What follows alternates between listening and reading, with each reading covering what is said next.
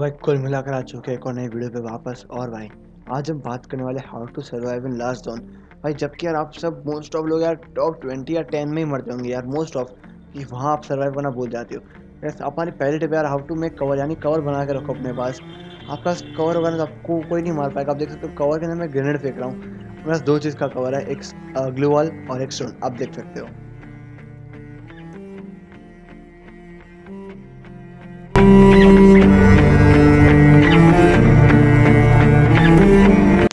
अगर यार आप लोग ग्रैंड मास्टर के लिए पुश कर रहे हो ना यार तो आपको माइनस तो बिल्कुल बर्दाश्त नहीं सकती यार, जहाँ तक मुझे पता है। अगर माइनस लग गई ना भाई आपकी तो माइनस पचास, चालीस इतना लग ही जाएगा, और प्लस कितना होगा? सिर्फ़ बीस और तीस। तो आपको वहाँ ध्यान रखना है कि आपका प्लस बहुत कम होता है माइनस बहुत ज़्यादा होता है।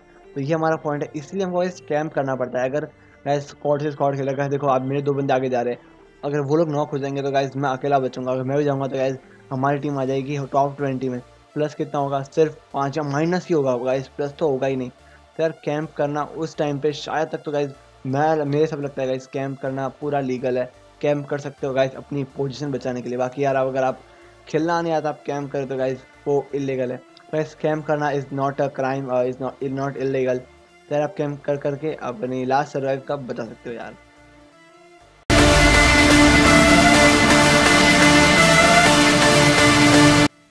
तो गाइज़ हमारे लास्ट और मेन टिप नंबर थ्री यार, अगर आप गेम खेल रहे हो, और भाई समझ लो आपकी वापस से मर चुकी है गाइज़ आपको कैंप करना नहीं आता तो आपको क्या करना है? सिर्फ़ और सिर्फ़ गाइज़ जोन श्रिंक हो रहा है तो उस जोन के साथ साथ दौड़ना है आके आप जोन से आगे दौड़ेंगे। अब इससे बेनिफिट क्या होगा कि अगर जो जोन के अंदर बंदे हैं, वो अपने आप पहले लड़ेंगे समझो अगर पंद्रह बंदे हैं तो गाइज़ मिनिमम दो स्कॉड तो लड़ेगी, चार चार की दो स्कॉड होती है तो लड़ेगी मिनिमम गाइस एक स्कोर तो फिनिश होगी है मैक्सिमम मैक्सिमम और उसका गाइस एक बंदा तो जाना ही है, यानी तीन बंदे बचेंगे, और गाइस आप देख सकते हो, आप सीधा आपकी रैंक हो जाएगी अगर आप टॉप थ्री में आ जाओगे या फोर पे आ जाओगे, कहीं भी आ सकते हो गाइज़ वो तो आप अलाइव के जितने उसके ऊपर होता है।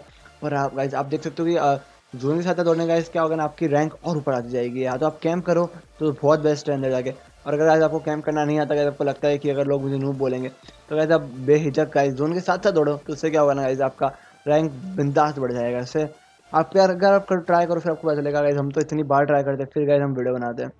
तो यार, ये टिप नंबर सिर्फ़ तीन, ये पार्ट वन के लिए अगर आगे और आने वाली है। तो मेक श्योर आप उसे भी देखो यार। तो तीन टिप आपको कैसी लगी मुझे कॉमेंट में बताओ यार। तो मैं मिलता हूँ आपको अगले वीडियो में। अगर तीन टिप अच्छी लगी यार तो लाइक कर दो सब्सक्राइब कर दो यार। तो मैं मिलता हूँ आपको अगले वीडियो में। तब तक के लिए टेक केयर है। Bye bye